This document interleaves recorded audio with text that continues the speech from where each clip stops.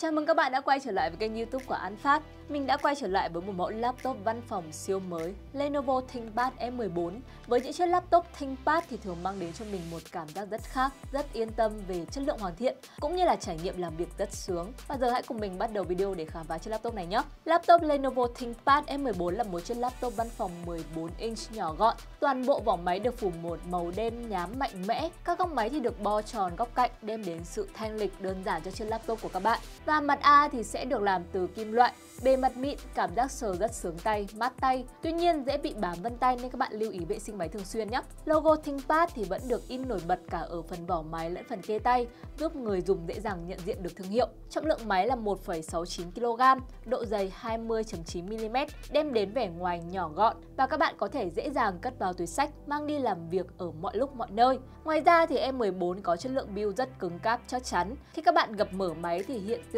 flex không quá đáng kể. Và một điểm mình rất thích ở đây đó chính là phần bàn lề của máy mở được 180 độ, đi kèm với đó là phần màn hình góc nhìn rộng giúp các bạn dễ dàng chia sẻ thông tin với người đối diện. Và ở đây thì ThinkPad E14 có kích thước màn hình không quá lớn, 14 inch nhưng được bao trọn bởi cạnh viền siêu mỏng đem đến góc nhìn rộng lên tới 178 độ. Chưa hết các bạn sẽ sở hữu màn hình Full HD, tấm nền TN đem đến màu sắc hiển thị sống động. Bên cạnh đó thì màn hình được trang bị công nghệ anti-glare chống chói, đảm bảo cho khả năng hiển thị của ThinkPad E14 rõ ràng trong nhiều môi trường với nhiều ánh sáng khác nhau. Cạnh trên của laptop thì được trang bị webcam 720p, thuận tiện học tập và làm việc trực tuyến. Kết hợp với đó là cụm che camera giúp tăng tính bảo mật cho chiếc laptop của các bạn. Một yếu tố khác mà người dùng rất quan tâm đó chính là cấu hình. Lenovo ThinkPad E14 thì được trang bị bộ vi xử lý AMD Ryzen 7 5700U với 8 x 16 luồng. Đây là một trong những CPU có hiệu năng tốt nhất của AMD dành cho laptop doanh nghiệp. Ngoài ra các bạn sẽ có 8GB RAM, ổ cứng 512GB SSD và đồ họa tích hợp AMD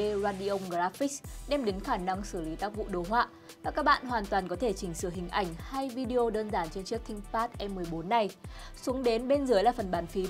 Và để có một ngoại hình nhỏ gọn thì E14 đã cắt giảm phần bàn phím số. Tuy nhiên các phím tắt chức năng cần thiết vẫn được trang bị đầy đủ. Phím có kích thước lớn, hành trình phím sâu, độ nhảy tốt. Bề mặt phím được làm cong ở giữa giúp ôm ngón tay cho thao tác nhấn phím chắc chắn và chính xác, đem lại cảm giác gõ cực kỳ thoải mái. Bên cạnh đó là phần top pad vẫn mang nét đặc trưng của dòng ThinkPad, bao gồm cả nút chuột trái và phải. Top pad thì được hoàn thiện phẳng mịn, kích thước vừa đủ, cảm ứng đa điểm giúp vuốt chạm mượt mà và nút checkpoint thì vẫn được trang bị để các bạn có thể dễ dàng thao tác khi không dùng chuột hay thập bát. Và nút nguồn của M14 thì được đặt ở phía bên trên góc phải, tích hợp cả miếng vân tay, hỗ trợ việc khởi động máy cũng như là đăng nhập trở nên nhanh chóng thuận tiện. Và ở đây thì ThinkPad E14 được trang bị hệ thống cổng kết nối khá đầy đủ, bao gồm một cổng USB Type-C, hai cổng USB Type-A, một cổng HDMI, một cổng mạng LAN RJ45 và một jack audio combo, cho phép các bạn kết nối thiết bị khác một cách dễ dàng trên chiếc ThinkPad.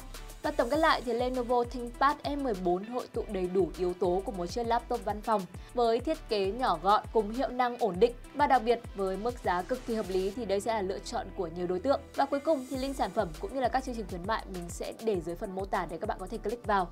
Hẹn gặp mọi người trong những video sau.